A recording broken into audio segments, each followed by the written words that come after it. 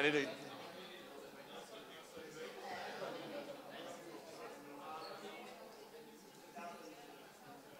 All right, we're going to get started. Could I get everyone to come down and take a seat?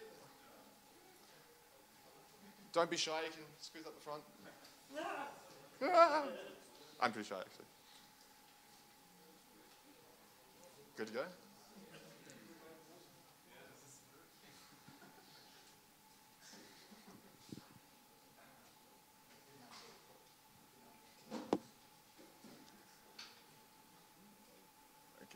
Begin. No one's taking the front, but it's all good. all right, well, thanks everyone for coming and braving the weather. Um, a bit of admin first. Bathrooms around the back. Food's at the back, drinks are in the fridge. That's the admin. It doesn't, but it's streaming through there. Can everyone hear me? Yes? No? I should talk louder? It's fine. So thanks again for coming. Um, we're really happy to host tonight for the uh, meetup. This is Futurice. What is Futurice? We are a big family of developers, designers, advisory, business. If the button works. There. We work and we play. So in 2001, four gentlemen got together and decided that they wanted to work at a place that was fun. And so they founded Futurice. Since then, we've spread to five different countries. We have eight offices. We've got Oslo, Stockholm, London, Berlin, Munich. We've just opened an office in Stuttgart, and then the founders started in uh, Helsinki and then spread to Tampere. Um, we also have a family of companies. So we have Aito, Columbia Road, Talia, Fortrum, a couple others on there. Um, Aito is really interesting. It's a uh, data science as a service online. Um, and I believe, at least for Columbia Road and Aito, they actually were ex-Futurice developers that Futurice helped fund their new startups. So as I said before, we have design and research, development, data science, and business advisory. No one ever looks at this slide, but here's some of the clients we worked with.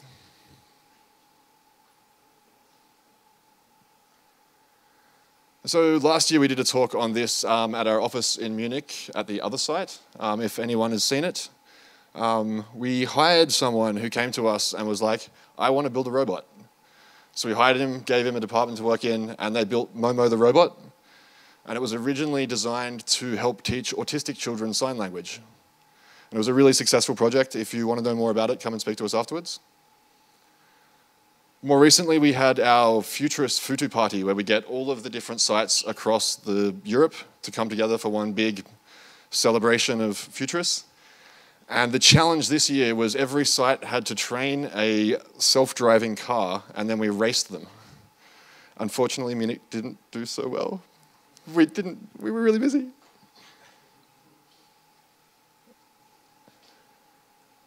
But that's actually in the uh, entranceway over here. And the car's there as well. So that's all of the introductions. If you'd like any of our social medias, there's all of the social medias. And without further ado, we'll get into the talks. Thanks again, everyone.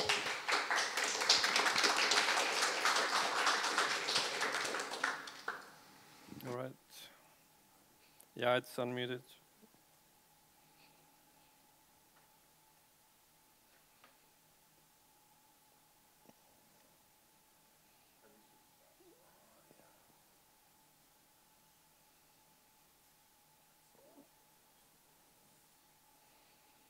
Yeah, it works. Uh, I can. I think I can make it bigger if if it's. Can you see from the back? I mean, the slides are like this. Okay, but uh, yeah. So today, it's the third time we have the Webpack in Munich. So it's kind of a tradition for some reason. Yeah, I don't know why, why we come to Munich. We could we could go to Vienna or some other city, but we come to anyway, the point is that we have a couple of presentations. I mean, we did this in the past. We had presentations in the past, so now we have presentations as well. So I will discuss the future of JavaScript a little bit. Uh, then Johannes will discuss the future of JavaScript bundlers. Uh, then I figured we can take a little break, like 30 minute break, because it might be too much to have two presentations in a row. After the break, uh, Tobias will discuss Webpack 5. So what's going to be new in Webpack 5 and all that. And then we have some time to wrap up and, and discuss and eat whatever we have left. Uh, so about me, uh, I'm mostly known for writing some books, uh, because the Webpack book is the one you could look into.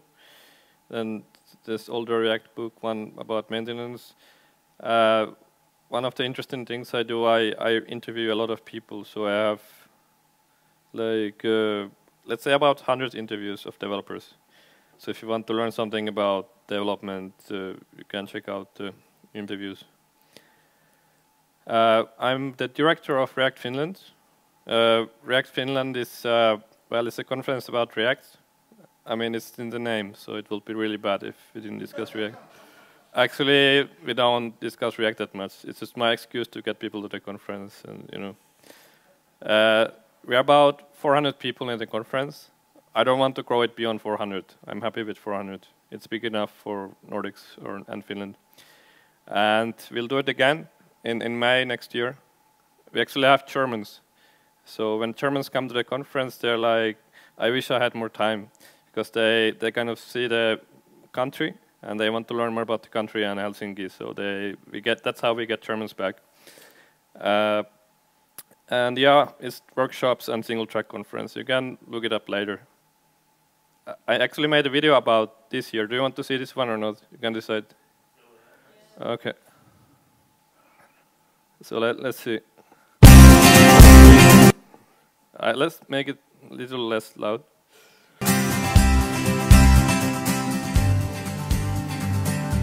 Anyway, I, I went with camera through the venue, so you can see what the event is about.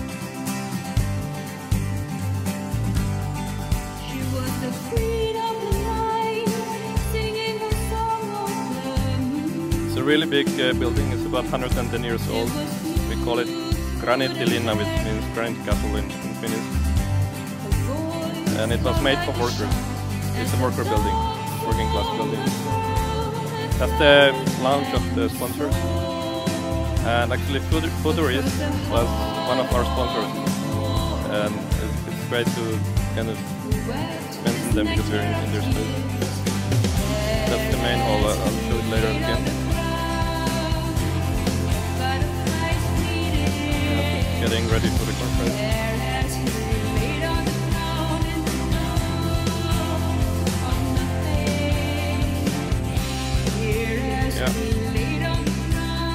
The. We're actually going to use the same menu again, so it's going to be roughly like this.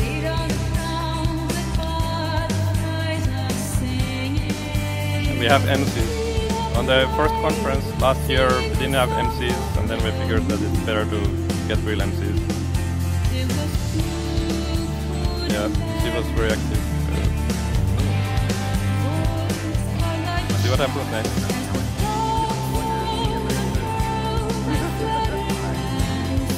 Yeah, I, I found the function in the camera that we can go and down.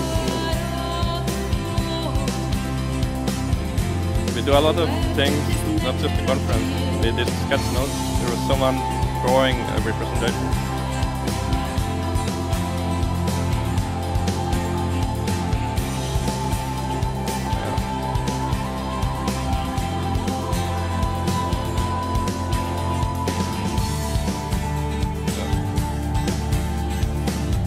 For me, it's a little like a playful conference. It's not enterprise conference. It's, it's more about community and we connect the Finnish developers with, uh, with the foreign ones we get.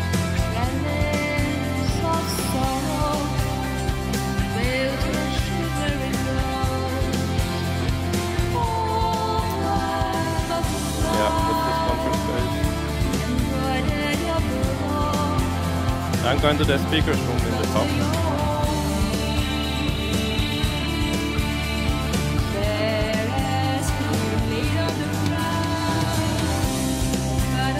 big building, so it takes a while. There's actually it's a sauna level. We have all the saunas here. Uh, and yeah, speaker room. The nice thing we do live streaming, so you don't actually have to be at the conference. You can just check it out online or, or, or from the speaker notes. Yeah, get out of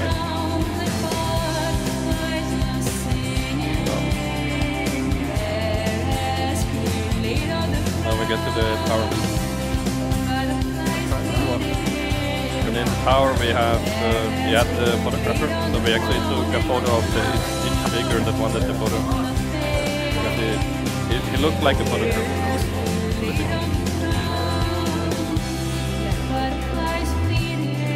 Uh, one of the cool things we did was to get uh, these podcasting guys, because uh, we have speakers. It, it's a shame not to do podcast with these people, so we, we had a couple of people interviewing our, our speakers.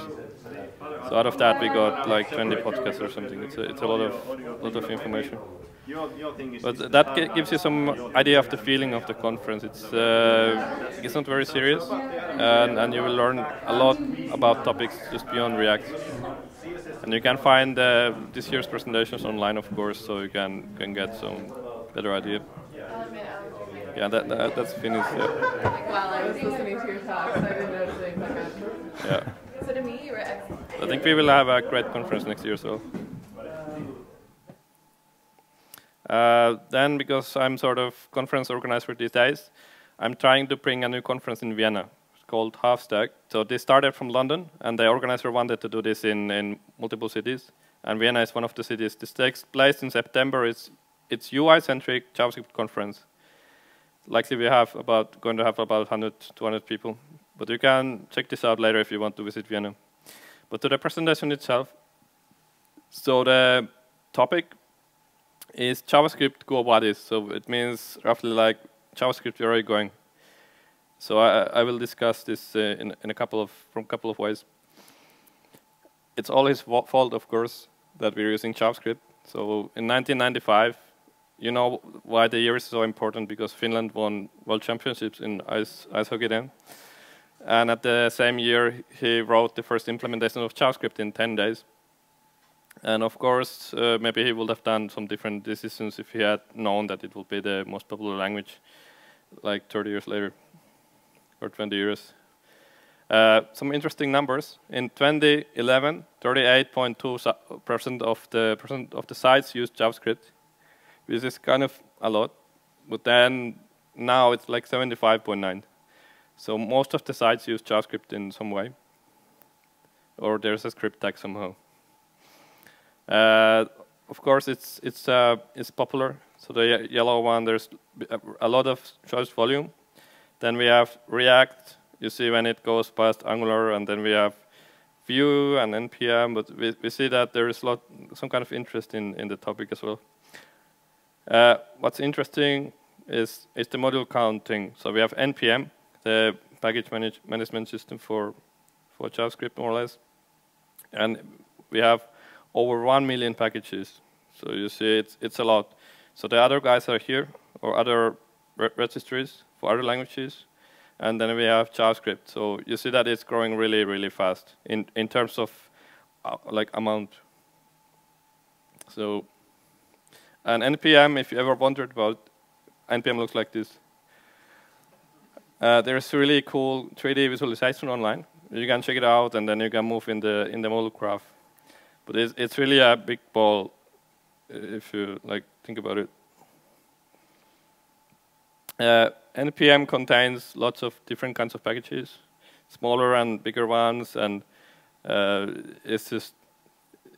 I, I looked into this. So in 2016 we had about uh, 2,600 boilerplates. I mean, the question is why would you even push a boilerplate to npm? But uh, I don't know.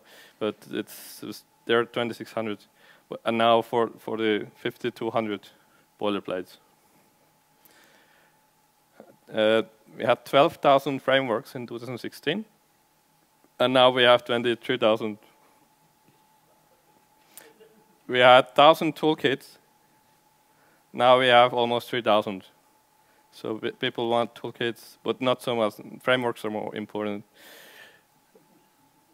Then library 30,000 and 51,000. So even this went up.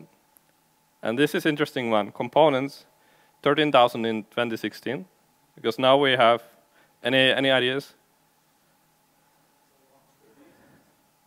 Yeah, 70, 76,000. I think it's because of React, because React get, like started growing around this time, and then we started doing lots of components. So now we have over 36,000 components, or or like packages that have component in the description.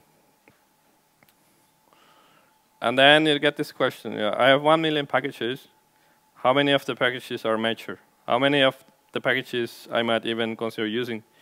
For me, the figure might be like 100,000 or less. It's like, because there's so much, so much uh, material that you might ever, never ever even use. Uh, this from 2016, but about half of the packages had some kind of tests. Maybe it might be even less than this in, in practice. If you, if you had some ways to look at the 1 million packages, uh, I'm, I'm not so sure that half, even half have tests. Uh, then, out of 231,000 packages, 138,000 had uh, README, license, and repository data, which are it's, it's like the basic information. And then I did my own own check, and at the moment we have about 720,000 out of 900 and uh, out of the million. So we have what almost 300,000 packages that don't have basic information set. So yeah, a lot of something on the on the registry that doesn't do much. And then if you look at the first figure, Eh, about 100,000 out of the 138,000 in 2016 had seen action within a year. So we likely we have a lot of packages that just are on the registry and they are not going anywhere. So there's just like someone did them in the past and they're forgotten. So some ideas how many of the million packages are worth using? How many you want even consider using? And is it possible we went with quantity or quality? And there used to be this node security project. What happened there? It, it got bought by NPM. Then we got this important um, important command, uh, npm audit. So it gives you a list of like update these things because there are issues. Uh, there used to be a security group, but now it's now it went to the Node side. So Node, uh, there is a group studying security in, in NPM. And then I started thinking, yeah, we have something for security, but about quality. So maybe we might need a project just addressing quality, so we get we get more, more we get go away from the quantity thing and more more to quality, because we don't even. What I learned a couple of days ago is that there's no standard for package JSON. Uh, that's a little surprising. And I mean, what, what we might need is more standard infrastructure. And maybe it's too easy to publish, because if you can find a free name, this actually it's a drinking game, which you can try with your friend, and you can drink water, you don't have to drink something stronger. And the, and the way it works is that you say a name, and if the name is on NPM, you have to drink. So, so you can you can try this maybe later today or or weekend, whatever.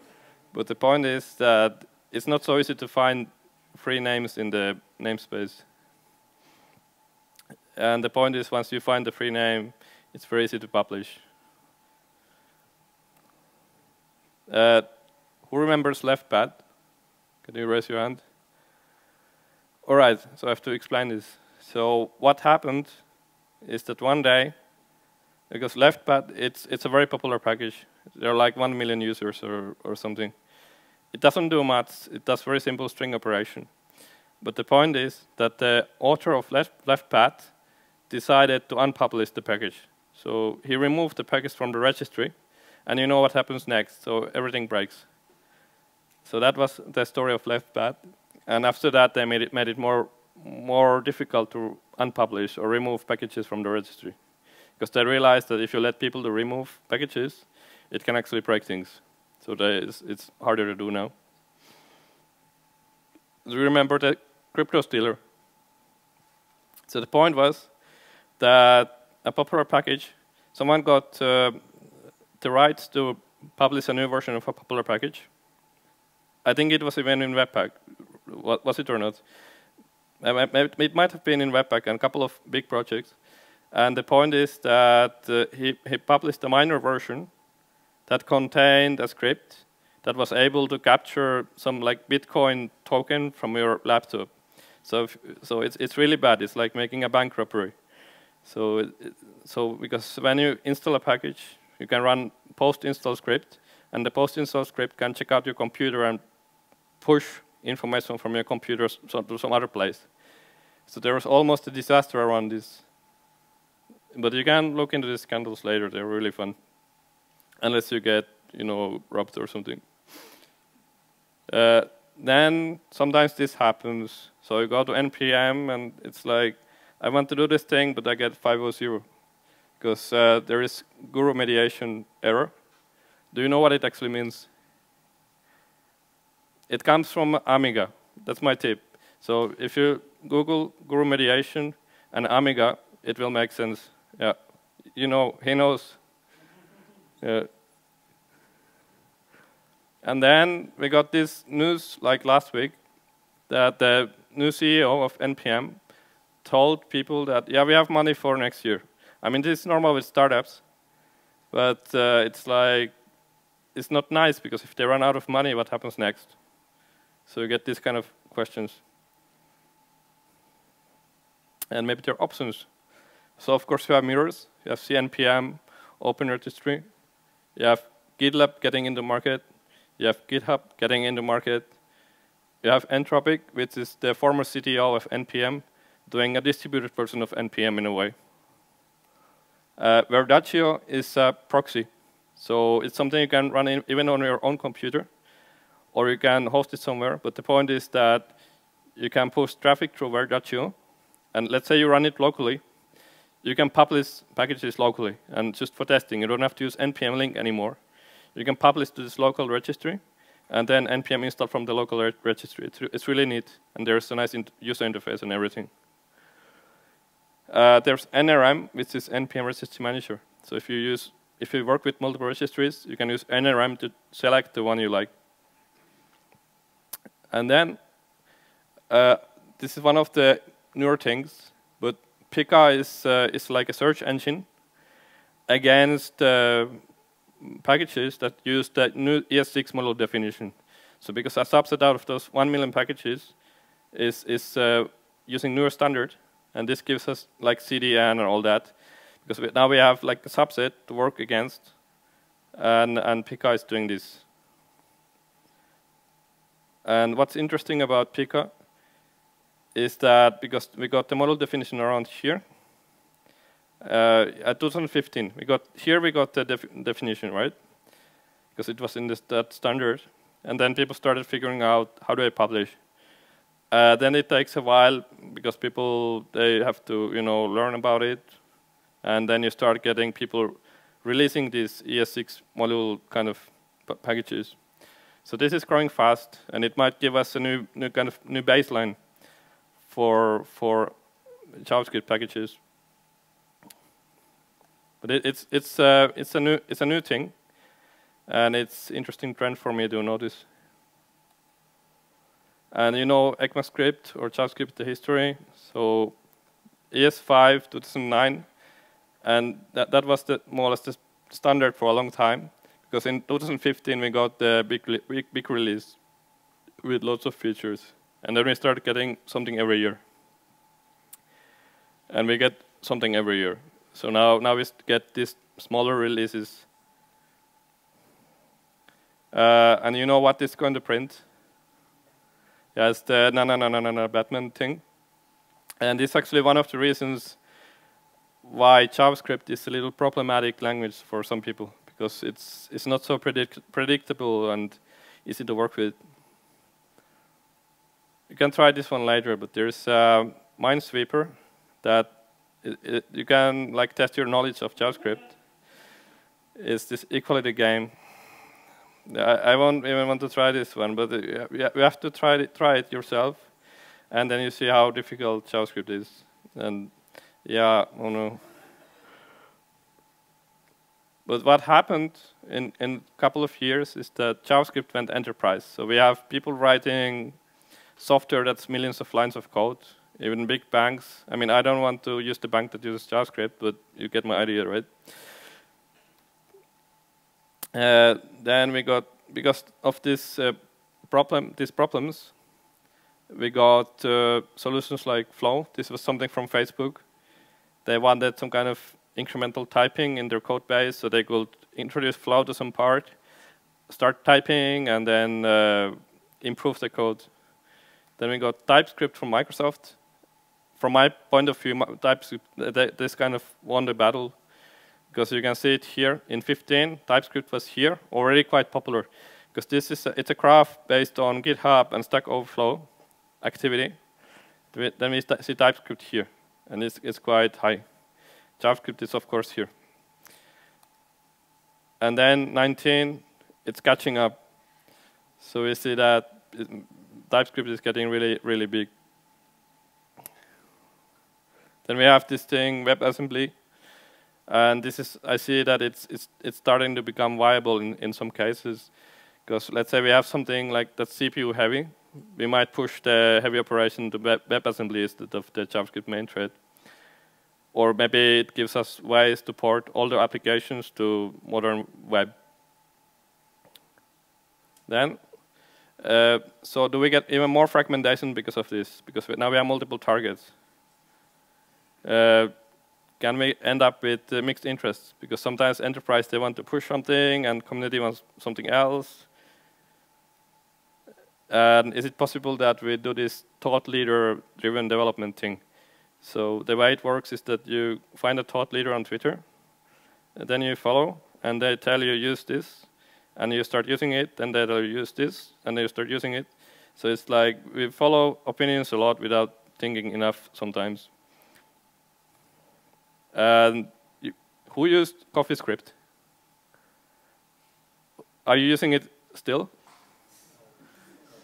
That yeah, that's what I thought. Because what what happened? Yeah, what what happened with CoffeeScript is that we got the main features in JavaScript. So I don't expect that we see exactly the same with TypeScript, but it will not surprise me a lot if we if we saw some kind of types or typing on top of JavaScript one day. It's a little different problem they solve. And maybe over time we figure out that there are better ways to type, and we don't have to type as much as in TypeScript. And this is where you should look into something like ReasonML, because they give a sane type system, and the point is that you don't have to type so much, as long as you have some basic types in place. I will say we already have the future here. It's just not evenly distributed. So we already have people doing the mainstream things that, I mean, mainstream in five years already now. So it always takes time for people to catch up. If you have a little bit of time, I can show this one. Some I, people like to climb It's mountains. really nice. I like to build It's about software development, remember that. air. So what they're doing, they're building a plane on the sky.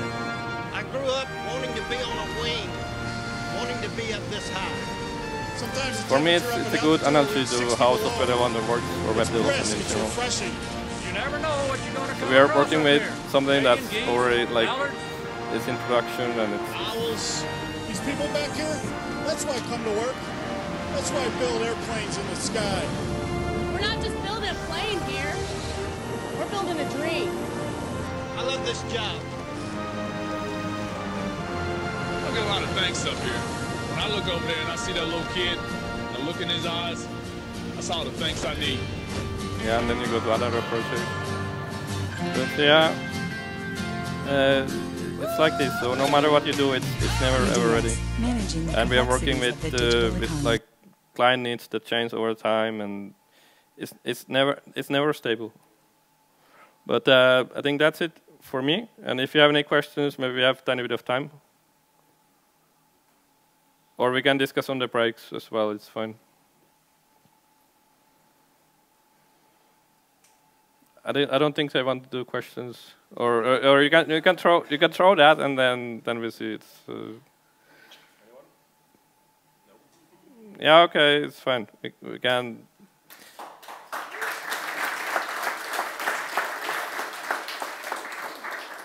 Yeah, we are just in time, so the next speak, it, next one starts in one minute. So.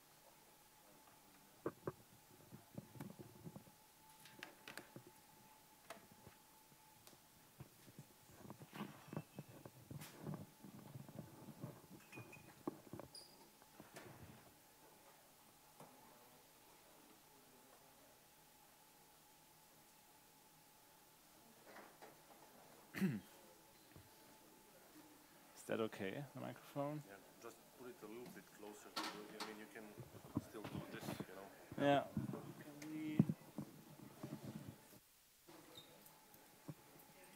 Okay. So the size yeah, can't be like. Okay. Ah.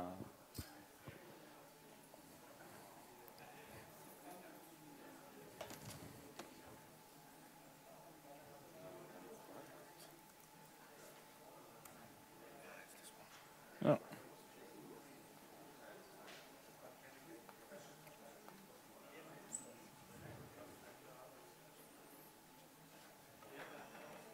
Mm.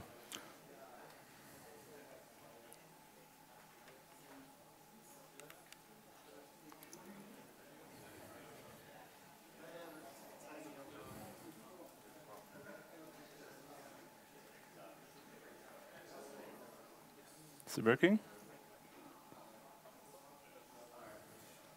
Okay. Okay.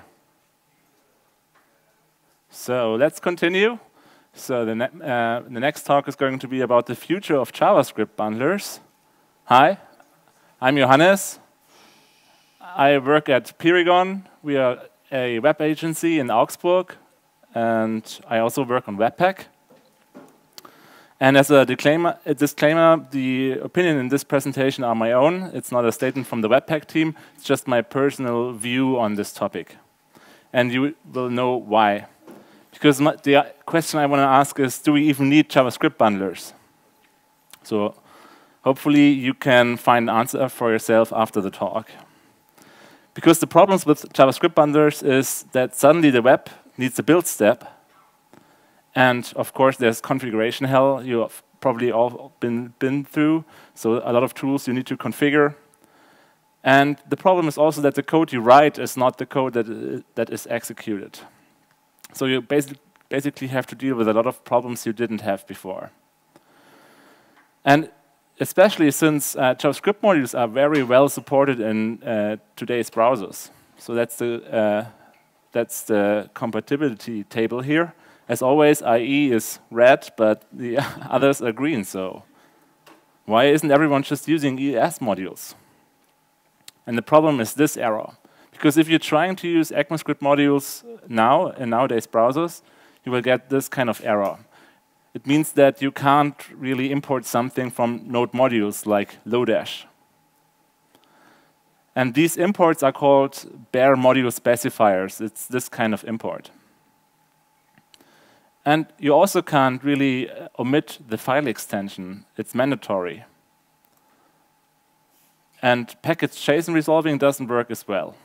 So basically, you just have import, and the import statement has to use the correct path. So right now, we can't really JavaScript, use JavaScript modules. But will we still need JavaScript bundlers in the future? Will, how will things evolve? Will we get rid of them?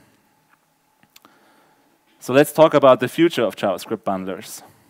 And in order to answer that question, we uh, need to find, or first we need to answer what JavaScript bundlers are solving today, what problems. So on the one side, we have the dev experience, that you can use whatever language you like. And there's also this nice short feedback loop, for instance, hot module replacement. Then there's this, um, this compatibility layer, or column. It unifies the module system you, you can use dependencies written in CommonJS, AMD, and ECMAScript modules, and it also unifies the platform underneath. And you can also use new language features, but usually use Babel for that kind of thing. And there's also this optimization column, or um, yeah, feature set, um, with optimized resource loading. So the bundler takes care of loading things very fast, long-term caching, and smaller file sizes. So I'm going to show you some proposals that might change the, thing, uh, the way how we work, but they are really in early stages, so take them with a grain of salt. We will start up with JS modules. As I already said, you don't really need JS bundlers for that, but our current problem is resolving, as I already said. So things we all can do to avoid this. we should not rely on like cute resolving features. Ryan Dahl did um, this talk about these uh, about things he regret in Node.js last year on the JSConf. It was really good, and I recommend watching it. What are these cute resolving features? So first of all, you should use file extensions because the browser won't do this kind of um, resolving.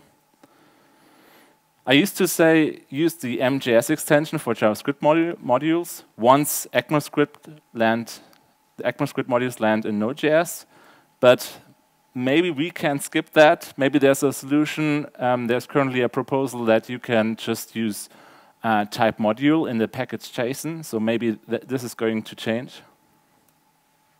But you should also avoid index.js, because the browser will also not be able to do this kind of resolving. And in general, my advice is to avoid module aliases just for ergonomic reasons. Just use the real path. It's not that bad. but if we have to use the real path, path, do we have to give up bare module specifiers? Be because the, there are some advantages of these, like shorter imports for common packages, and also this indirection at the package level, which allows us to switch out the implementation between uh, the browser and Node.js. For instance, if you're using the package isomorphic fetch, it, it just replaces the implementation, but the A API is the same. And it, they also hide the actual file layout of third-party modules. So maybe that's a good thing. And the good news is that there's a proposal, it's called import maps. And um, you can, uh, they, the, this, it will be going to be the way how you configure your browser to understand these kind of imports. So maybe you, uh, we will, uh, we were going to include these script ta uh, tags with an import map that maps the bare module, uh, bare module specifier to a real path. And the good news is that there's an intent to implement from the Blink team, so the, um, the Chrome team is working on that. Then we, um, so we talked about JavaScript modules. Now let's talk about HTML, CSS, and uh, WebAssembly modules. There's also a proposal for HTML modules. So um, maybe in the future, we will be able to import HTML files. And they are going to be intended as a replacement for HTML imports. So if you take a look at this code snippet here, we are importing an HTML file. This is something you're very used to in, in Webpack land, but it's not uh, possible right now in regular ECMAScript module implementations. But maybe that's going to happen. So we are importing an HTML file, and we get back a document where we can run selectors, and we could get a reference on these DOM nodes.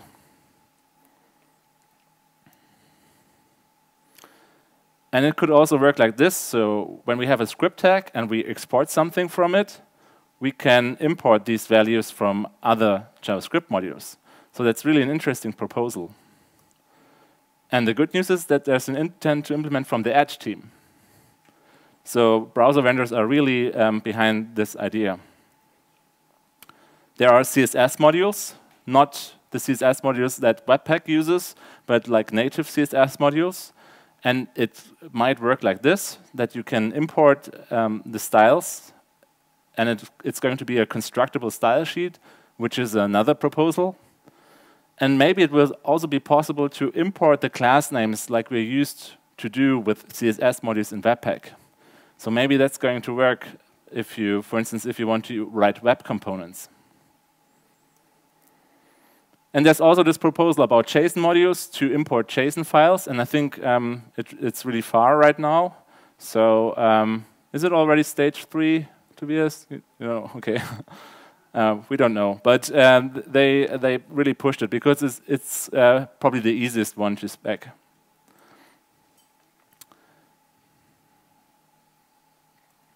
Um, and the last one is about um, WebAssembly. How are we able to are going to be able to import WebAssembly modules?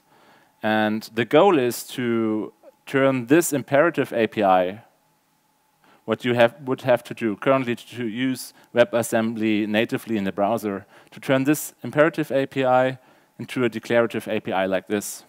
So there are also efforts to do that, but there are some challenges like cyclic dependencies between non-JS modules, and this is really complicated, but uh, in a nutshell, it probably won't be able to, or you won't be able to import a WebAssembly which depends on a JavaScript module, which depends on another WebAssembly module.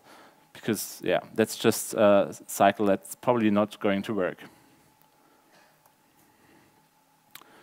So we talked about JavaScript, HTML, CSS, and WebAssembly, but what about custom languages like TypeScript, for instance, or JSX? There was this loader specification in 2016, but they kind of abandoned it and broke it into smaller pieces, like, for instance, system.import, which later just became import, the dynamic import thing here. There are some proposals. I just want to mention them. I'm not going to explain them. Asset references and this import as proposal. I'm going to encourage, or I'm encouraging you to look into that, but we don't have time to discuss it. Okay, let's. oh.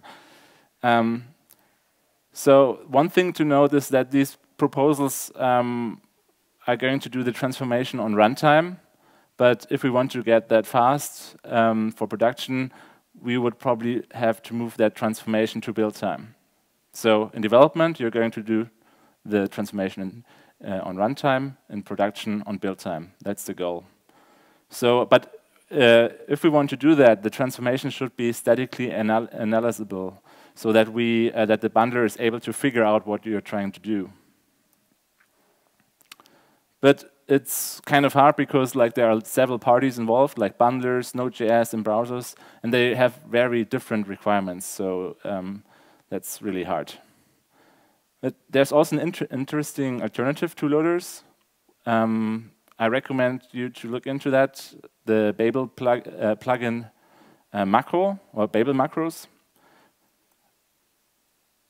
And they, uh, this plugin allows you to evaluate code on build time. So um, I have this example here. You import this preval mac macro, and you pass in a string of, uh, like a, a, JavaScript string, which should be, in this case, a CommonJS module, and it evaluates this expression on build time and um, replaces, replaces it with the exports. So it eval evaluates that, and it will just become like this one. And um, this can be um, really handy in situations like this. If you want to write like a human-readable um, timestamp, it will be replaced with the actual numbers. But how can this substitute loaders? Um, for instance, we could replace the raw loader like this. We import the raw macro and pass in a path and it replaces this with the content of the README. So maybe that's something that's going to work, especially with top-level await coming to ECMAScript or to JavaScript. So that's an interesting path, but there's a lot of like exploration and re research necessary to get it done. I'm going to skip that. Um, yeah, but how is it going to work without Babel?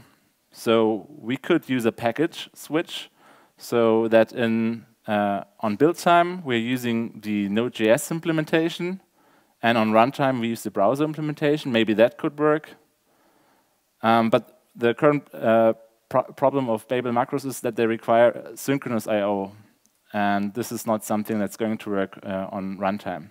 So it's just an interesting idea you should look, look into, um, but yeah, nothing usable right now. So what about the short feedback loop? Um, if we can do the transformations on runtime, uh, we don't need a build step. So that's really nice. We, we get the short feedback loop. Um, but we would need a way to make the transformations cacheable.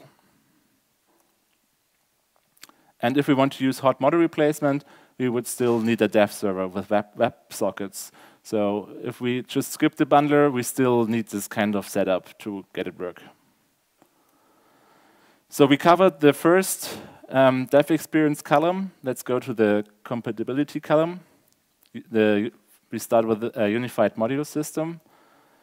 So my hope is that authors will slowly adopt the common denominator, ECMAScript modules, imports with explicit file extensions, I already mentioned that.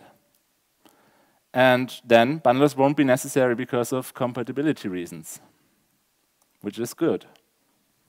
What about the unified platform?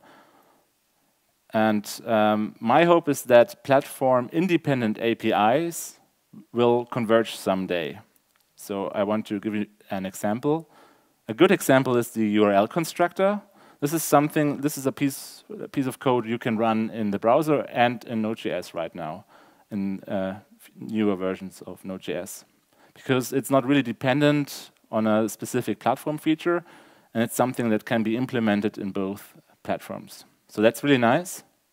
A bad example currently is Fetch, um, but as I heard that people are really working hard to get it running in Node.js, and um, there is like a lot of problems you need to solve because fetch is not just a function, there's also a stream behind it, and as you know, Node.js is using different streams, so we really have like a conflicting um, API here. So people are really working hard to get it running, and hopefully we will be able to use fetch uh, in the future in, in both platforms.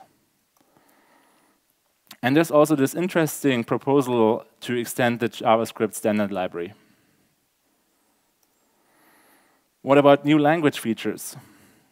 I think they will be, it will be less relevant with evergreen browsers and uh, with these incremental language updates. But I also think that we, we will still need a build step um, for, for production builds uh, because there will also always be this requirement that you have to su support other clients. And also polyfills still require a lot of manual configuration. So we covered the, the second column. What about the optimization? Um, how will it, would it look like if we wouldn't use a bundler? We start with optimized resource loading. So there's this big elephant in the room that um, should we even create like this bigger chunks with ECMAScript modules and HTTP2 push? So this H2 push feature is a new HTTP feature that allows you to uh, allows the server to push resources to the client before it's requested it. So um, um, it might be better to um, have like really just small modules and you push them upfront to the client. But unfortunately, there's no clear answer yet um, because it's really a, um, a, complicated topic where many factors need to be considered. Um, the one of the or the current problems with ECMAScript modules and H2 push is that browsers haven't optimized native modules yet. It's not really fast right now, but they are working hard to make it faster. But there are also inconsistent H2 push implementations, and Jake Archibald uh, wrote a good article that summarizes all the problems if you um, want to leverage H2 push. And the problem is also that if you push resources to the client that the client has already cached, it's actually worse, worse than no push. So this is also something that needs to be solved. But there are some efforts in the HTTP working group to solve that. And the last point is that text compression algorithms are more effective on bigger files. So um, yeah, it's complicated. In summary, H2 push is still hard. And um, there are uh, the, some Google people published the rules of thumb for H2 push. You should read it through if you want to um, use H2 push. But um, yeah, as, as implementations mature, we need to re-evaluate the question whether we should create chunks or not. So this is not something we can answer right now. But it's, it's a, an interesting topic for the future. But let's assume that we really, really wanted to use H2 push. So how would it work? In general, there are two possible solutions. We could use an empiric approach, like this Node H2 auto push module is doing, and it tries to learn what to push by observing client requests. So if a client requests your application, it's uh, like recording, um, okay, if this module was requested, right afterwards this other module was requested, so I'm going to push the other modules, the other module as well. Um, or the other solution is we could use some a build tool uh, like a bundler which generates this dependency graph on build time and passes this result to the H2 server. So these are like the two approaches. But a bundler could not uh, only create this dependency graph for H2 push. Um, it's, it's not the only performance optimization a bundler can do, actually. But the current problem is that if you want to get the best performance, you need to configure a lot. You probably already um, saw that or learned that. So one solution to that problem is that we need to give like more data to the bundler so it can perform automated decisions. So one data source can be static analysis. We are already using that, but um, we could extend it. For instance, um, we could add resource hints automatically, like pre-connect for all the hosts that have been parsed from the source code, so that the browser already um, resolves the, um, the name via DNS. And um, for instance, this is something that is already possible. You can import a module and use this magic webpack comment. And it's it's the hint for Webpack that this uh, module is going uh, that or that the browser should should request this module as soon as it's idling. So it uses um, link prefetch. And it's in Webpack since 4.6. But we could also have this um, preload comment for fonts. With, this is not something that's working yet, um, but it would be a nice idea to have this like hints. But still, there are manual hints, and they can get outdated over time. So we need a better data source. We could use, for instance, automated um, critical render path tests so the idea would be that there are, there are automated tests that navigate to popular routes, and the bundler captures all the relevant performance data, and the bundler decides which resources to optimize and to prioritize so that we don't have to configure it manually. It just learns it from the actual usage. Uh, for instance, we could create optimized subsets of fonts based on the actual usage, usage of glyphs and there are already two packages like subfont and glyphhanger. It's a nice package name. Don't use it for the drinking game. Another example would be that we could inline uh, critical CSS. This is already a, a popular feature of CSS and JavaScript libraries. Um, and there's also this module. So this is something, this is, it's going to be more, um, I guess, popular and more important in the future. And I think this kind of approach really works well with this, uh, with the Jamstack, where you have, or where you are able to pre-render routes. But they are also um, error prone because we have to select the popular routes up front because we decide where uh, to run the tests on. What if instead of this artific artificial usage data, we used actual usage data or real usage data? And this is the third data so source, analytics. And this is called data-driven user experiences when real usage data drives the decisions about how to optimize the app. And it's already possible today. So there's this library called Guess.js, and it has been announced at the Google I.O. 2018. And it uses real usage data to decide which chunk to prefetch next.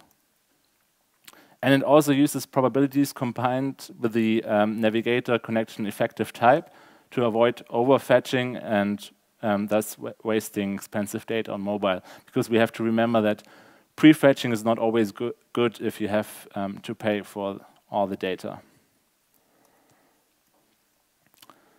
The next optimization is long-term caching, calculate, um, which is currently um, calculating all the content hashes and updating the URLs. And I guess you will always require a bundler to do that because you don't want to do it all manually. So it's a you should use a tool for that.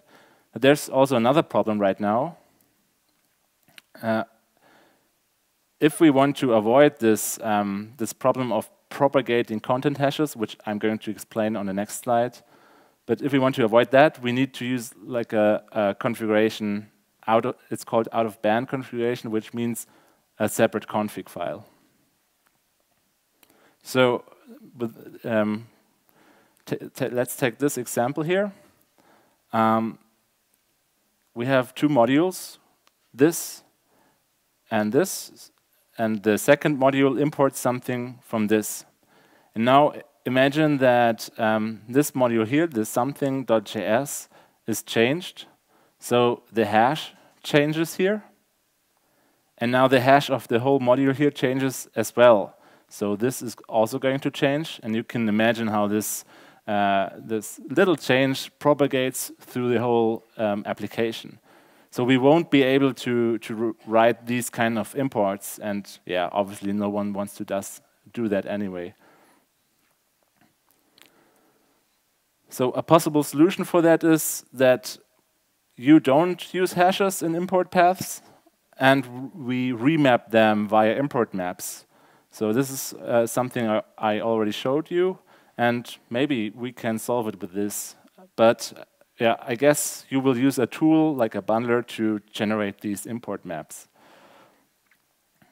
The next optimization is smaller file sizes. And for instance, it, what does it mean? It means tree shaking. It means dead code elimination, that, that we want to remove code that is not used. It, it means minification. We want to remove characters that are not necessary, and also compression.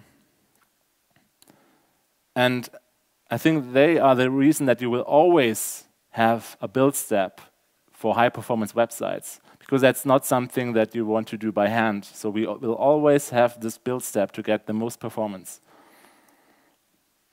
So my conclusion is, in, um, in the beginning, bundlers were invented to use Node.js modules in the web, but this has changed. Bundlers have like a bigger scope now. Today we use bundlers for a lot of reasons, like dev experience, compatibility, and optimizations. So we will still need bundlers in the future, and I collected or summarized my talk in this table. I think JS modules will work without bundlers. We will solve that problem. And um, we will also solve that unified module system problem because I think in the future everyone is going to use ECMAScript modules with the, with the correct import paths. We will probably solve the problem to import HTML, CSS, and WebAssembly modules. And I hope that we will also get a more unified platform between Node.js and browser. People are working really hard to get it, to get it done. You could get the short feedback loop without a bundler, but there's some work necessary. But I don't think that um, we can get rid of bundlers if we want to use custom languages, if we want to use new language features that are compi compiled to old language, uh, to, to older JavaScript. And for all the optimizations, we will still need a bundler, a tool, something to optimize our application in production. And this is because bundlers can do stuff on build time that would otherwise need to be done on runtime. But I guess the scope of bundlers will probably change. So my vision is that bundlers shouldn't be necessary because of compatibility reasons. Bundlers shouldn't be necessary to allow us to write the code the way we want it. They should only be necessary to make our apps fast. And in order to make that happen without configuration overhead, we need to give bundlers more insights into our application via static analysis, via automated critical render path tests, via real usage data. Thank you.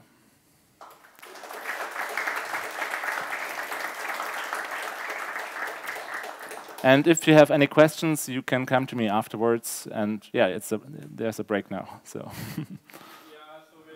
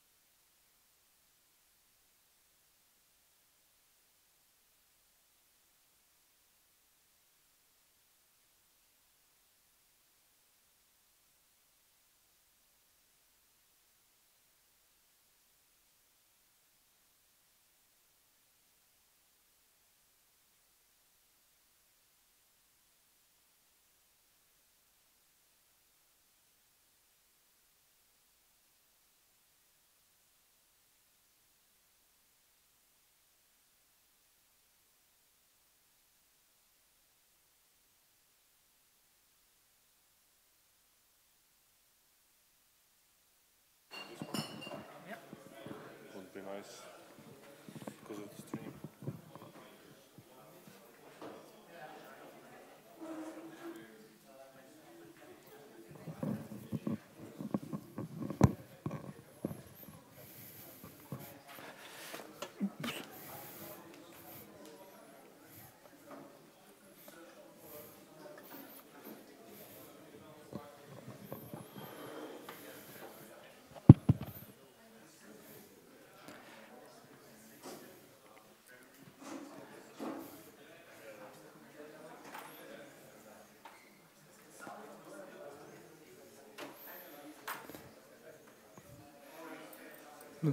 Should we start? Joe, stop eating and take a seat.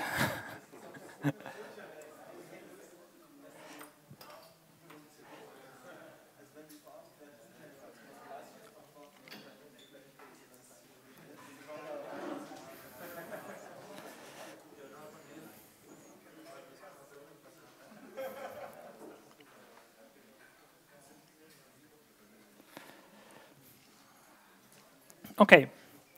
So um, yeah, I want to present something about Webpack 5 and the current development, and uh, I prepared some slides about new features, stuff that changed, stuff that may break in your application, and everything you need to know about Webpack 5 and what's new. And yep. So um, organization-wise, with Webpack 5, I mean the Webpack core. So it's only related to features in the Webpack core. And Webpack plugins or Webpack loaders and Webpack uh, um, development server, middleware, everything, everything uh, all these development tools around Webpack core develop, are developed individually, so it's they are, have different release cycles and are not related directly to Webpack 5 core, um, but may make some major versions too in this case. But um, this presentation is only related to the core features, mostly. Um, so uh, if you want to watch or follow the development, it's uh, in the next branch, and we already have some kind of 1,000 commits and 500 commi uh, pull requests merged, so kind of getting ready. so I try to categorize the next slides with kind of hotness and the benefit uh, factor this cool scale and the risk of breaking your application or your plugins, and the risk of that are bugs in these features, uh, bugs, because many features are experimental and new stuff have may have bugs, as you may know. So the, I think the most visible change in Webpack 5 is that we removed um, node polyfills. So currently in Webpack 4, you can do something like require crypto or import crypto, which is a kind of, also crypto is a kind of Node.js module, also FS, uh, path, VMs, kind of this kind of Node and built-in modules. So currently in Webpack 4 you can just use it and Webpack will polyfill it for you. And this has some kind of problems. In some cases, polyfills are quite large, and you don't see that um, it's not in the dependencies, so you don't see that a, a node module is using some kind of node, uh, node uh, built-in modules, and some um, polyfills also have only a limited feature set because it's not possible to have a file system in the browser, so it's kind of emulating or only have a limited feature set, so can, can kind of break the module because the polyfill is not quite equal.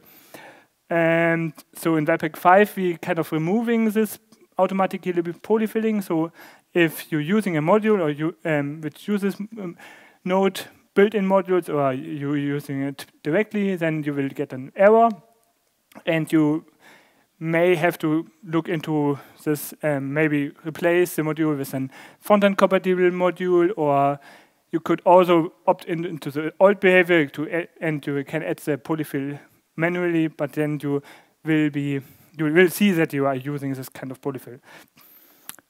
So yeah, the risk of that it will break your application is very high because there are many node modules with kind of using node built-in modules and I want to push um, front-end modules into a state where we are no longer depend on this kind of node-specific feature sets more into an unified platform thing, uh, which kind of only uses web platform and uni unified features. So another change with Webpack 5 is that in Webpack 4, um, you may notice that modules get kind of uh, ID, so it's kind of numeric ID, or in development a kind of string, kind of name ID, and in production mode you usually get some kind of short numeric, ID, some kind of one, two, three or so, and the chunks, so the, the files get also get an ID. This is bundle file one, chunk two, and this comes with a problem because if your application changes, you make some changes to application. Here we're adding some kind of login helper chunk, which has some kind of login helping stuff. And now um, there's an additional module, and it gets a new um, ID, and this may causes other modules to get a new ID because we don't have this information between the kind of modules. Each compilation is separately, so we, um, it will redetermine which mo module which which module get which ID. So it kind of leads to the problem that before um, the last build has um, button.js with modules um, with ID 3, now it has uh, ID 4, but the content hasn't changed.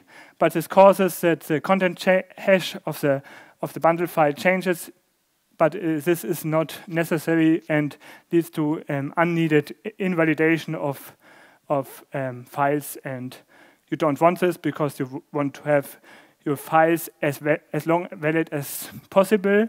So in Webpack 5, we kind of changing this. We kind of uh, creating um, new algorithms, kind of hashing. Um, we create deterministic IDs, which are more deterministic um, compared to Webpack uh, 4. Um, the same for the chunk ID, so it gets it's a bit longer, so it's a kind of small overhead for um, compared to Webpack 5 F4, but it makes the um, bundles more deterministic. Um, in this case, you see that um, this bundle is not um, affected by the change and will be cached by the browser, so it's better long-term caching effectively. Very hot feature. Uh, and um, we're also changing uh, how IDs work for development. So this, this feature was kind of for the production mode. And for development, uh, we're also changing um, how this works. Um, in Webpack 4, we already have some kind of um, give the module the ID um, by the, determined by the name. So you can see in the bundle or in the DevTools that this is module ID entry.js. It's easy to see, but um, for chunks, we currently use numbers. And uh, you see in the DevTools loading bundle 2, bundle 3. It's not easy to see what really happened. So in Webpack 4, 5, 5 and we're also adding some kind of similar thing to module IDs. We also add um, for chunk IDs, make some kind of string uh, representation of the content of the module. So if um, chunk contains login helpers, then we will get, uh, give the, uh, the chunk also the name login helpers. so it's, it's, it's um, better to see how which what what uh, bundles are, what files are loaded. So here's a kind of table which uh, how it now behaves in Webpack um, 4, you have to add a manual command to give some kind of chunk a name, and um, this name would be um, in the file name. And in Webpack 5, we will, if you don't give it a name, we will generate something automatically, and you can still give it a name, and we will use its name. And you can also um, you can set this um, output file name kind of property if you want kind of automatically named or kind of only the manually named stuff. It kind of makes sense for production builds. Maybe you don't want to, maybe you want to name some files, but don't want to expose um, other information, uh, only the information you edit manually.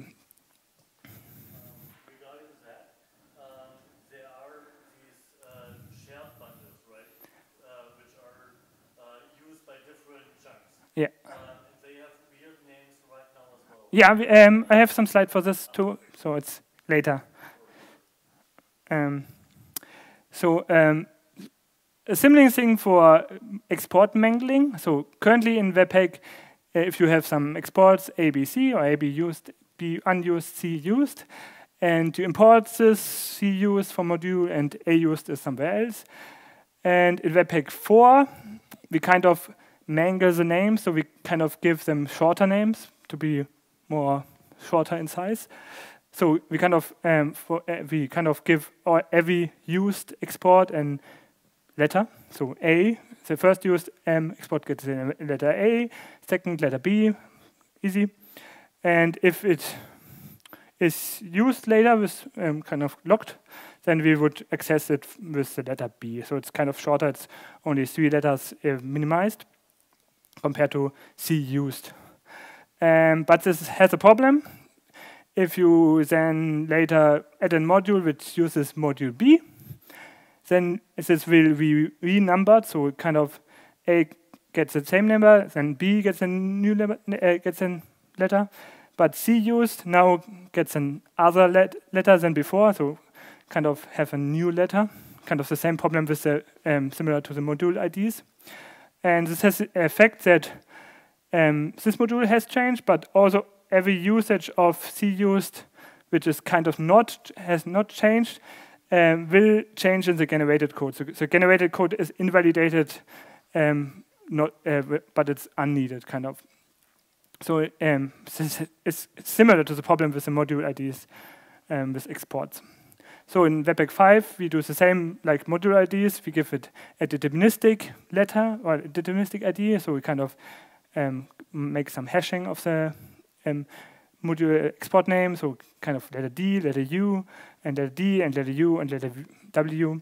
So it kind of um, has not no longer this problem that unaffected exports are invalidated and the module stay, uh, stays the same. So it's kind of also the same optimization, better long-term caching, and less invalidation of um, code.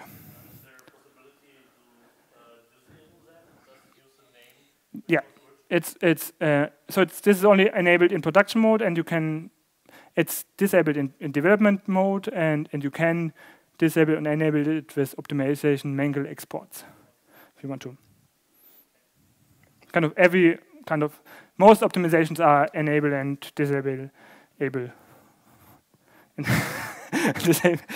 Uh, okay. Um, other thing um, in Webpack 4, there for every chunk there must be a JS file, and you could do something like um, move every style sheet, move every styles in a kind of new chunk, but this has the problem that this would generate a styles file, but also an empty JS file, which is kind of technically required for the chunk loading stuff. And in Webpack 5, we lose this requirement, so you can create chunks with only CSS or only WebAssembly or only some other type, and this will not generate a JS file if no JavaScript is included. Um, in Webpack 4, we only uh, have some kind of one size type. We only have some kind of this is this module has a size of one kilobyte or so. But in Webpack um, 5, we had added some kind of different size types. So can, um, a module can have um, size of JavaScript, size of uh, runtime code, size of WebAssembly code, size of style sheet code. Um, this is this is nice because you can kind of have some kind of um, more specific splitting, how large uh, size, uh, how large chunks should be, um, which kind of makes sense because style sheets are faster or images are faster to pass by the browser compared to JavaScript, which are very complicated. So we can make, make different thresholds for different types of um, stuff. Um, um, yeah, um, Webpack can also build for Node.js or kind of other targets and compared to web. And um, there are kind of targets like Node, Web Worker, or Async Node, which only have a single entry. So um, in the web, you can add multiple script tags to an HTML file, but in Node.js it's not possible. You can, you can only reference one entry. You can only require one file, a single file at a time. Um, and this leads to the problem if you split your chunks into into parts. So you have to technically you have to add multiple script tags to um, include the application, like kind of main and vendor, some kind of stuff. Um, and this was not possible uh, in this kind of targets which only had a single entry. So we kind of added this feature to load that the, end, the, the, the entry also loads the, the, dependent chunks for, for Webpack 5. So kind of um, if we make some kind of vendor splitting for node applications, then requiring can, the, the node application will also require the vendor file. Um, um, usually you use, use this for better long-term caching, but it also makes sense for um, long-term caching is not so relevant for Node.js because it's not very cacheable. Um, but it also makes sense for better build times or kind of uh, yeah better build times. So um, Webpack 5 also changes the minimum Node.js version uh, a little bit.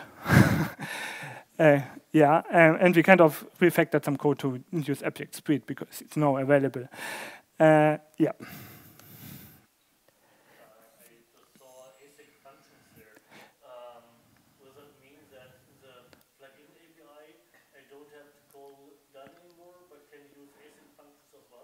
Yeah, this was possible in Webpack 4 also. You can also it, you can it's documented. You can do use tap and tap promise and tap async. So it's there's a different um, stuff for.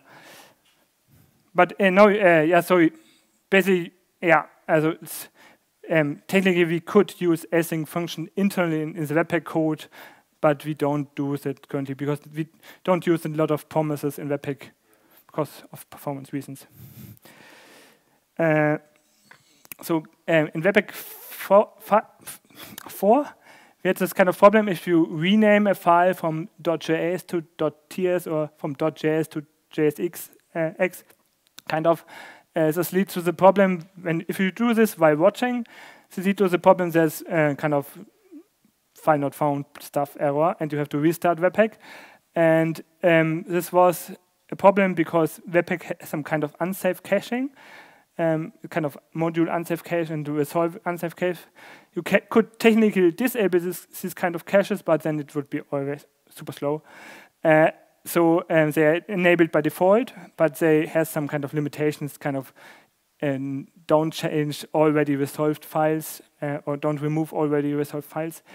And in Webpack 5, um, we removed the unsafe resolving cache and replaced it with a safe cache. So the safe cache is compared to the unsafe cache.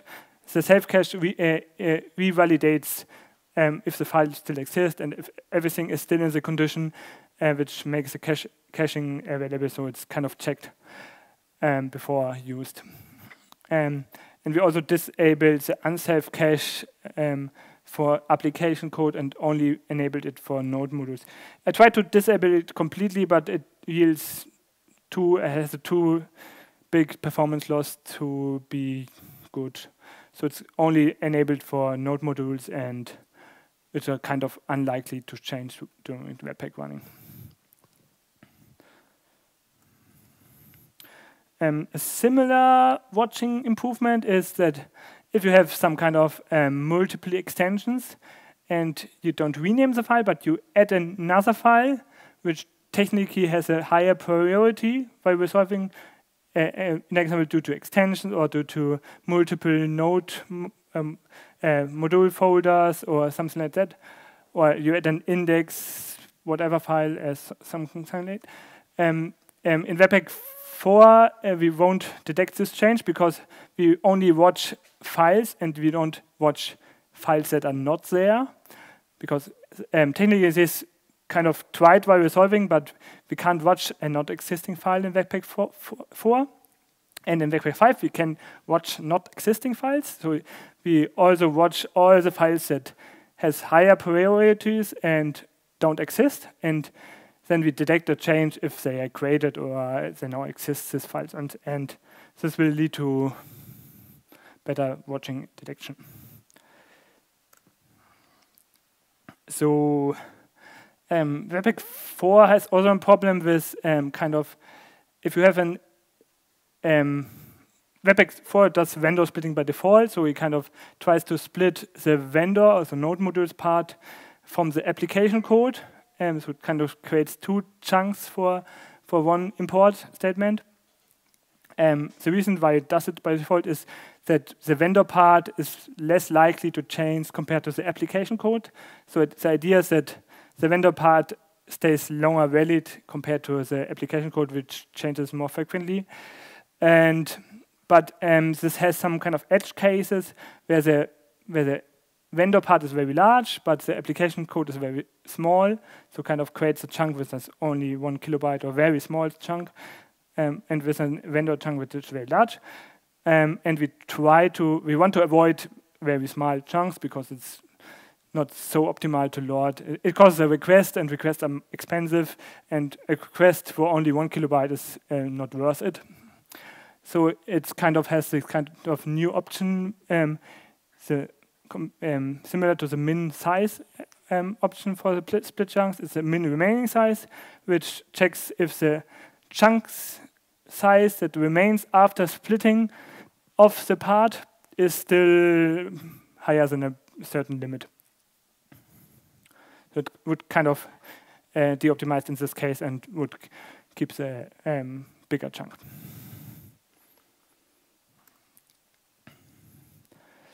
So um, we also have some uh, Webpack uh, 4 has this kind of optimization max size, which is kind of the thing with HT HTTP uh, 2 optimization. It kind of splits chunks uh, into smaller parts if they have um, too big size. So it kind of tries to, in this case, it tries to uh, make some, if you have one megabyte um, chunk, it would split it into 10, 100 kilobyte pieces. So it's kind of um, op optimizing for um, caching. If you change one module in the one megabyte file, um, technically it would invalidate the one megabyte file, but if you split it into 10 pieces, then it would only invalidate one piece of the 10 of the 10 pieces. It's kind of an optimization for HTTP2 and long-term caching. And in Webpack 5, we kind of split it and or add, added new options, which kind of allows to configure it more precisely. In example, you can configure different sizes for initial, so um, chunks which are fetched during the page load, and async chunks which are fetched during the uh, on-demand loading. So now it's your thing. uh, so um, in Webpack 4, um, if you have some the default optimization kind of tries to find uh, shared parts of chunks. So if you can kind of want uh, two um, entry points, in example, or two on-demand loaded stuff is uh, similar, um, then it would create a primary secondary file and a file which shares um, has a shared content of both um, entry, um, entry points. But, but this has a problem so if you kind of adding another entry point, which shares the same content, example, if you're also using React or something like that, then it, it would rename the, the shared part because the shared part used to contain uh, all the names of the chunk which are shared by sh contains the shared code, um, but it uh, this is suboptimal because the file actually contains the same shared part and is only renamed and technically it could be cached, but because it's renamed, it's no, no longer cached. So it's kind of suboptimal. So we removed this feature that um, um, shared chunks gets the name of the, um, the parent chunks. And now um, they get the name, also they get some kind of ID. Um, so it's kind of the feature of the IDs. And the ID is um, created by the content of the of the shared part. So if you if all uh, entries share React, then it would be named React or so.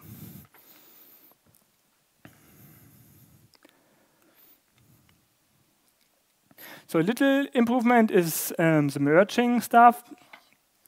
If you have a configuration like this, you have some resolve configuration, configure some aliasing, And you also have some kind of alias resolve configuration for some part of the application. To can actually you can um, create rules which apply resolve configuration for kind of part of application to kind of match it only for CSS files or only match it for a specific library. And in Webpack 4, the new alias configuration would override the old alias configuration. So only B would remain. Um, but this is kind of unexpected because you usually you want to keep all the, the alias from, from, from the root configuration. So in Webpack 5, it will now merge. Hey. uh, and the same is for the parser configuration, for the parser options. Um, we also did some kind of renaming of the placeholder hash because the placeholder hash is um, kind of looks innocent. It's kind of oh, it's hashed.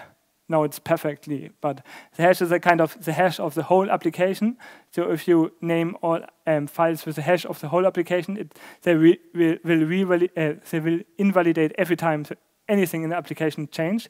So we rename rename the hash placeholder to full hash, which is more clear that it's the full hash of the application, and the and the error message which you get when if you're using hash is kind of gives you some kind of migration info, and it will also point you that content hash or chunk hash is a better hash placeholder for the hash of the file, not the full application. Has some kind of historical reasons because it's named hash. Um, we also did some small API changes to make some plugins or make some APIs more future-proof an example, um, we have some kind of external um, can be passed on callback function, which kind of takes three parameters. But in this case, it's difficult to add more information to the function. So we kind of um, refactoring this to take an options object with these properties. So it's more, we are able to add more properties in the future to, in example, add module graph information or add more stuff, whatever. And um, similar changes are done for plugins. Um, more, I think all plugins take an options object instead of the uh, options directly to be able to add more options or make some refactoring changes in the future.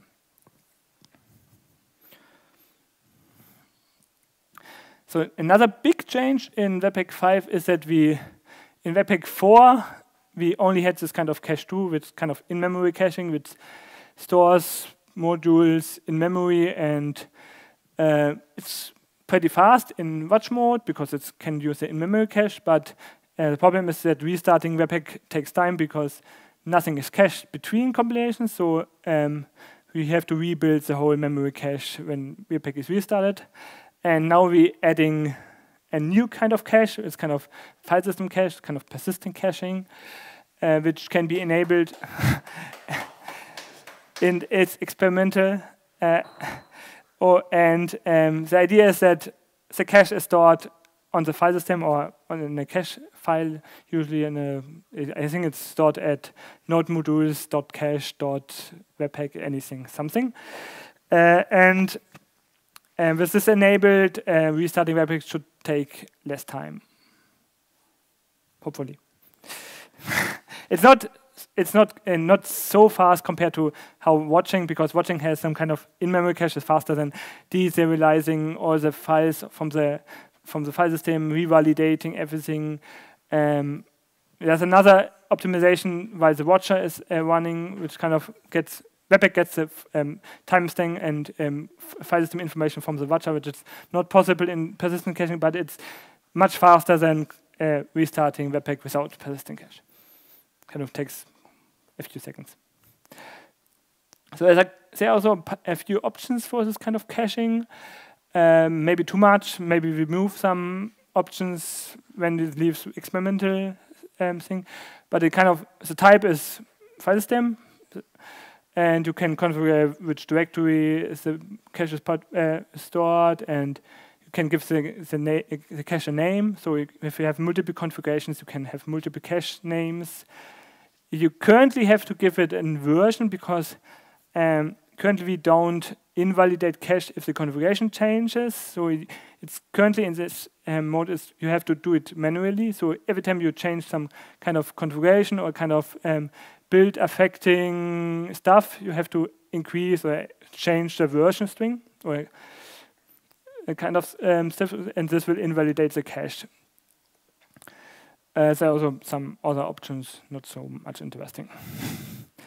um, but in future, we want to avoid that um, the version is special. It must be specified manually. So we um, want to add some kind of new options, kind of um, dependence, kind of build dependencies or config dependencies, which where you can pass some um, files from which your build config depends on, and we will um, uh, get a hash from this file and will invalidate the invalidate the cache if the configuration changes, and also if you have some kind of dependencies, like if you're doing some schema uh, compilation during build or so, uh, in the configuration file you could, could technically do some preparation stuff, and then you do some plugin stuff, then you had could add this to build dependency, and we also will add these dependencies to the hash of the cache and invalidate it if needed.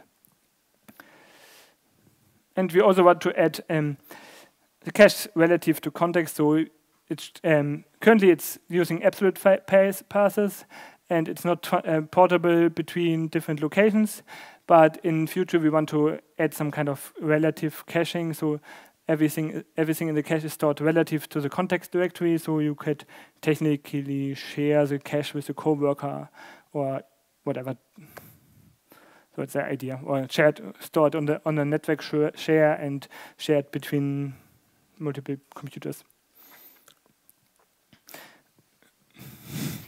Another small change is uh, in Webpack 4 you could specify if um, in presets like verbose for stats and also an options object with multiple options.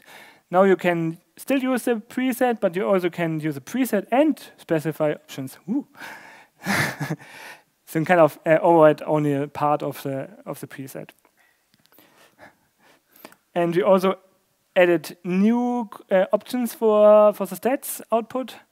So um, this all changes the defaults of the output.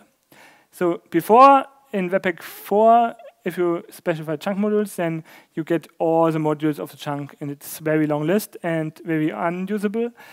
And um, because we already analyze which are the root modules of the uh, of the chunk, so kind of the the entry of the chunk, which are in the import, we, we could also display only the root module, so you would only see if you import ondemand.js, we only show ondemand.js and five other dependencies or something like that. So it's kind of make it more readable, um, kind of. And we also dis uh, disable or uh, not show um, modules which are not included into chunks. Kind of uh, if you using side effect optimization and some modules are skipped uh, or not included in the chunk because they are not used, then will, in Webpack 4 they will be displayed, and in Webpack 5 we will now hide them by default because they're not included in the bundle. We also hide runtime modules uh, by default. Um, they doesn't exist in Webpack 4, but now they're hidden. and we also will show the chunk relations, the kind of um, cool looking uh, graph stuffing in on the in the stats which kind of points to the parent chunks and the children chunks and the siblings chunks and um, most people don't understand this kind of numeric symbolic syntax so they are hidden by default because they're not really needed. And we also allow most the biggest change is uh, we also allow plugins to change um, how is the stats output, which properties are included into the JSON file, which how the JSON file is stringified, which which text is displayed, how the text is displayed, and yeah, so it's kind of new plugin interface for stats. and uh, I expect that some people write plugins to make some nicer output for Webpack or display more information, or it's also useful if you have some custom information you want to export into the stats JSON file from the compilation or some, something like that.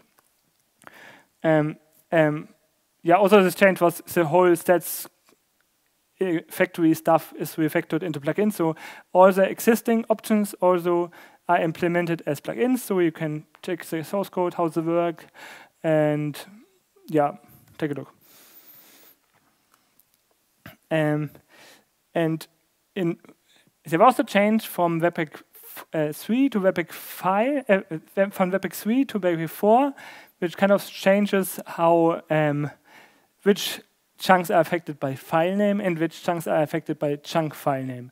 And um, in Webpack 4, um, this kind of makes some some initial fetched files named by the chunk file um, um, um, names. And in Webpack 5, we uh, reverting this change, we're changing back to the old system, which are kind of all initial chunks are getting a file name, and all non-initial uh, chunks getting the chunk file name. So everything that which may be included as script tag, or should be included as script tag, gets the file name, so um, the initial file name, and everything that um, can be fetched on demand or is imported, it gets the chunk file name. So it's kind of the change. Here you can see some examples. Uh, in Webpack 4, uh, 4, the runtime would get the file name because it's a, it's an entry uh, chunk, and this didn't change. Um, but um, the entry point may get the chunk file name um, scheme, um, depending on if you're using runtime or not. So it's kind of a little bit confusing. Also, the, the vendor part of the um, primary gets the chunk scheme and the stuff like this. And this now uh, everything gets um, everything that is fetched on the uh, it's loaded on demand, uh, loaded initially gets the, the file name scheme, and everything that's on demand gets a chunk to a chunk name. Okay, so we also refactored some kind of um, um, how the exports info is stored in Webpack.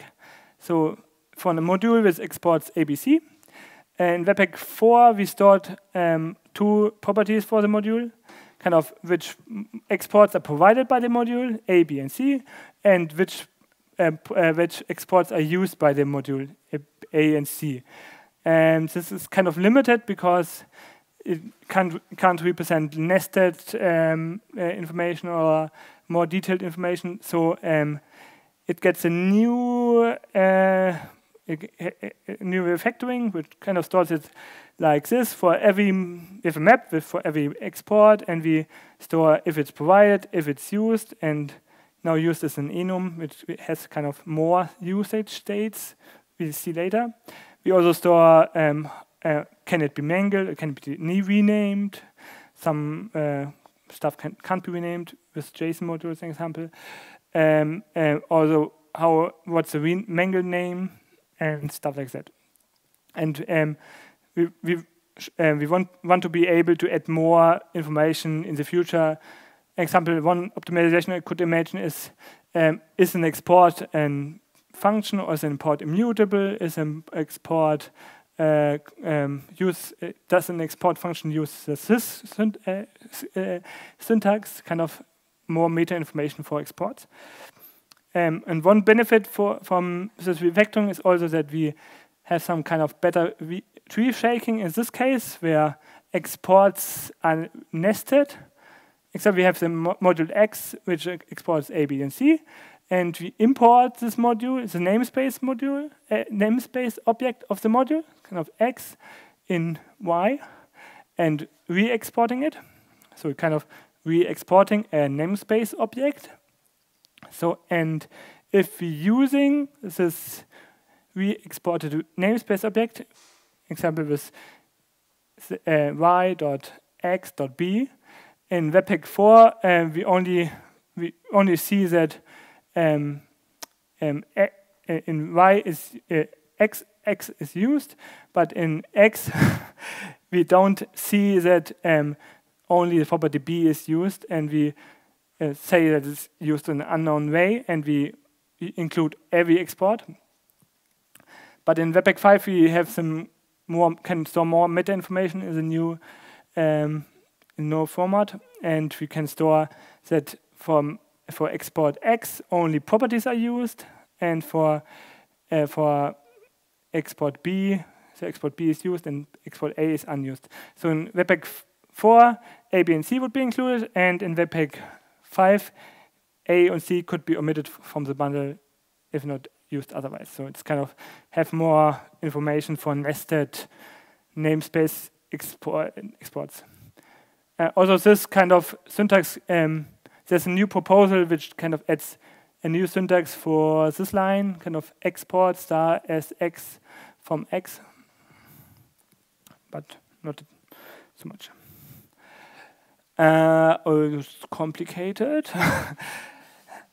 so um, Webpack generates, in, in some cases, Webpack generates um, kind of um, helper code. So, um, in example, if you're importing something from common from a CommonJS module, then um, there's some kind of interop layer between uh, ECMAScript and uh, CommonJS, which requires to um, use an helper function, which is kind of stored as on the webpack required .n function and is called um, when importing. And this helper, uh, helper code is always embedded into the runtime code. If you read the runtime code, you will see this kind of helper function. It's not so long, but there are um, kind of four or five helper functions that are used. And the problem in Webpack 4 is that this helper code is always in the bundle, and we may not need it if you, in example, if you don't use CommonJS um, files, then the helper code is uh, useless in the bundle. And in Webpack 5, um, we now um, provide a kind of um, runtime requirement. So if you're importing something from a CommonJS file, then we will create a runtime requirement for this helper function. And this runtime requirement propagates unto the, to the runtime. And only if the runtime requirement is there, then the helper code will uh, add it. So it's kind of um, so we only add helper code on demand.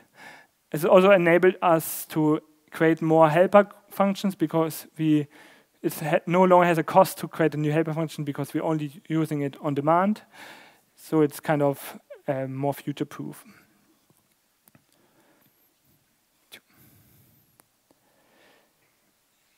there's also a sm small change for, for persistent caching that uh, many things in Webpack, like modules, dependencies, or more stuff, sources, now contains um, serialization and deserialization code to be able to store them on in a binary format and restore them, but only um, relevant for plugin authors. And um, in most cases, Webpack, if um, something don't have a serialization code, then uh, it won't cache them, won't cache that, that, thing, or only cache it in memory and exclude it from the persistent caching. So, uh, but if you want to write a plugin which uses this persistent caching feature, then you have to provide the serialization code for classes you want to store in the cache.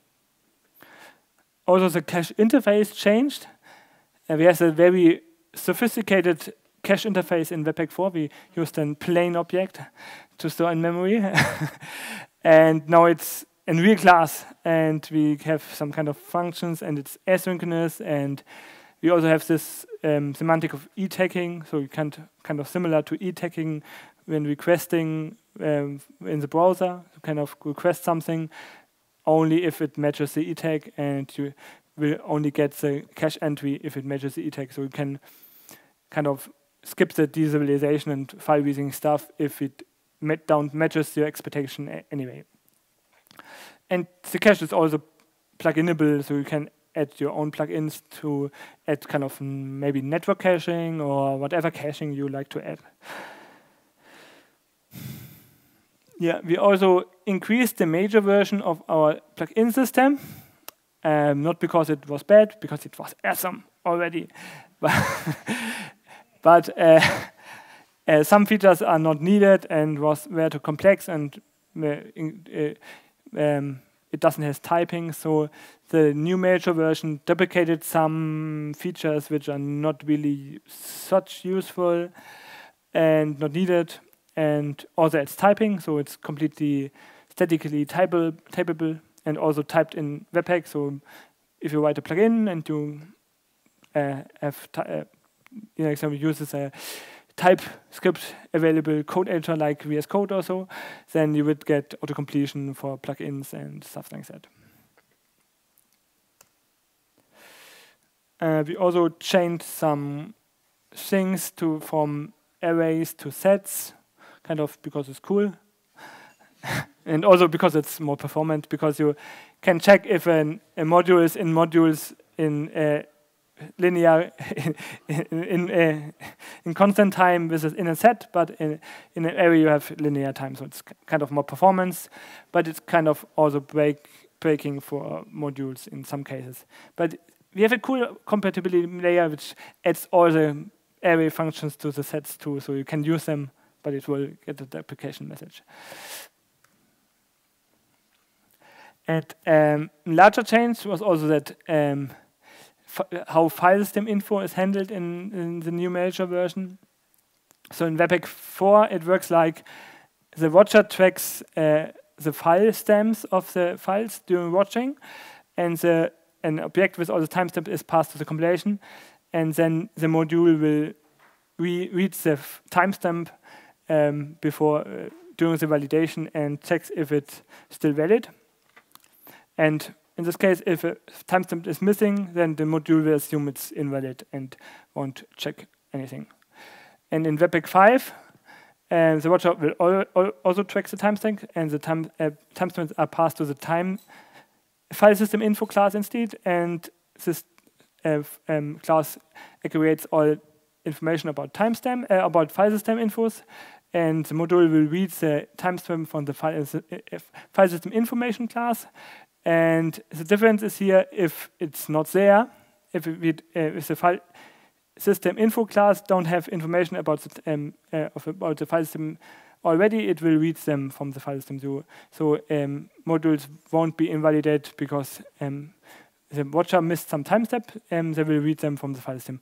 This is important because persistent hashing don't have a watcher attached in the first compilation, so we don't have timestamp information from the watcher, so we have to grab them from the file system in the first compilation step and kind of, so this refactoring is, was needed to not have all modules invalidated after reading from cache. So also a change is um, how hot module replacement is implemented internally. Um, in Webpack 5 4 it was very specific for JavaScript and only for JavaScript, and it was not extensible. It was a large chunk of hot module replacement code, and this was refactored to be extensible plugins. So it, plugins can add features to the hot module replacement. In example, the JavaScript plugin adds the feature for uh, hot module replacement for JavaScript. So it's kind of implemented for yeah, the JavaScript source type. But uh, we also want to add um, features, uh, want to add hot module replacement support for other source types like style sheets, like runtime code, like WebAssembly code, like whatever code, uh, whatever source code we have in the modules. Uh, so, yeah, it's not important.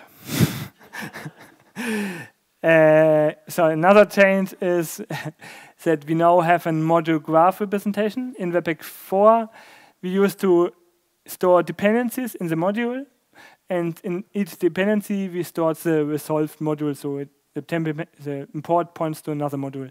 But this creates a kind of graph representation inside these two classes. Um, but for caching or for persistent caching was this was not so ideal because uh, we want to serialize the module and we can't serialize the whole graph. It would be to, we would want to serialize each module individually so we can restore them from the cache. So we removed this kind of property and added a new um, class responsible for um, uh, mapping all the module graph information, kind of separated these concerns. so this could be very important for plugin authors because it's very changing. So um, we also added an uh, experimental. We, we handle experimental features different in Webpack 5. So in Webpack 4, we just enabled experimental features by default. In example, MJS support was just enabled, WebAssembly support was enabled, and this lead to problems because Node.js deprecated MJS support and you can't, can't disable it. And um, the WebAssembly support we had in Webpack 4 was replaced by a new spec, which has some kind of new support. So now all experimental features are disabled by default, and you have to opt in to use experimental features. And we also will have some kind of reduced semantic versioning for experimental features, so kind of they can be breaking in in non-major versions. So we have to we want to uh, um, iterate faster with experimental features to make less breaking change uh, to make less major versions for experimental features. So this also added some kind of new features, top level await, whatever, and new WebAssembly imp implementation, stuff like this. Mm,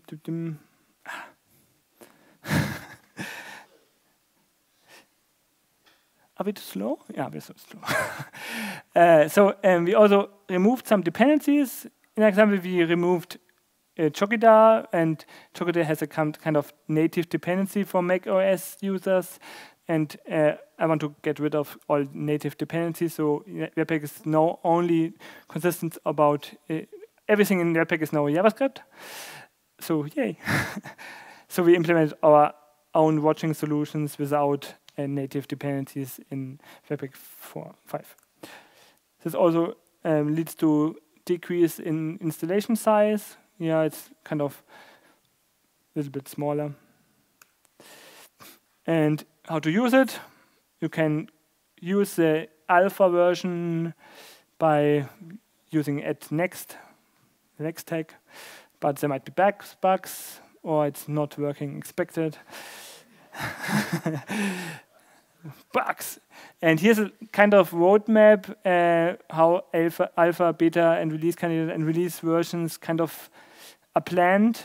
So the alpha version is kind of something is working, and the beta version is planned to be uh, when we are feature complete with the core with all the features, and then we want to release a release candidate if the important part of the ecosystem, like loaders, plugins, documentation, the migration guide is ready. And after that, you can safely test it, or you can also test it in another version, but it's more likely to break. And something in the future, somewhere in the future, we want to release it, hopefully. So we are uh, here. no. It's, I think we're kind of very far in the alpha phase. So, and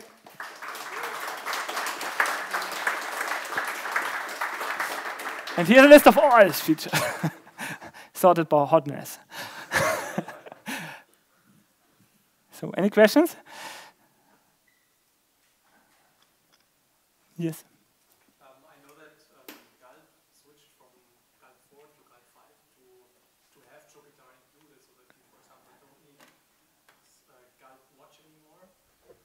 does this have performance problems when you drop the support for Chokidar or drop the usage? Uh, not sure. I like to test it. I, I like to. Uh, so we can maybe we can add FS events in the future, but I like to drop it first before and try to test it uh, with more people and make sure. I, I think I, we have the large number of tests which run fine in the C CI, so it's kind of working in the CI and kind of works with all tests I've written, but um, maybe it's not.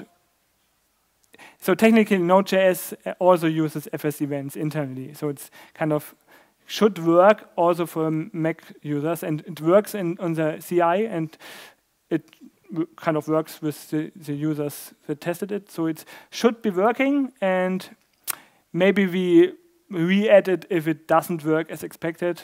Let's see. But I like to I hope it will work without the native dependencies. So with uh, Chokidar also adds a lot of um, mo node modules. It's kind of micromatch. It's very large. Okay. More questions? So.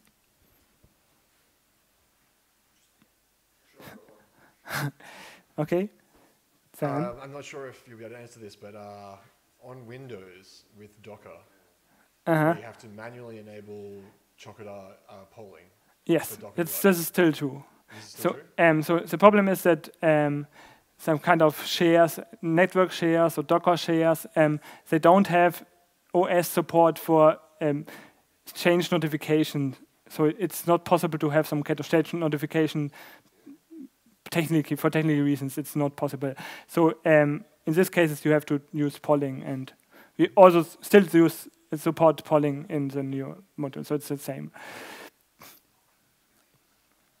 Thank you. more technical restrictions that there's no change notification from, from our OS level. More questions?